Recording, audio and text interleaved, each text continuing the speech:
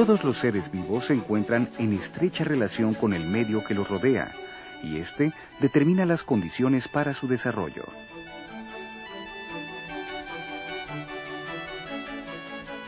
El medio está integrado por factores abióticos y bióticos.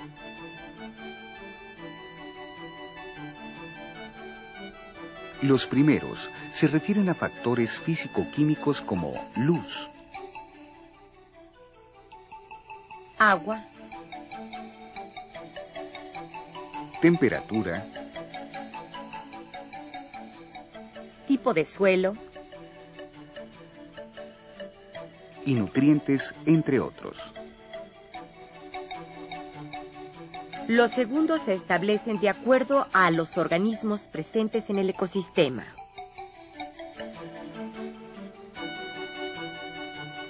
Por ejemplo, las interacciones alimenticias, es decir, quién se come a quién.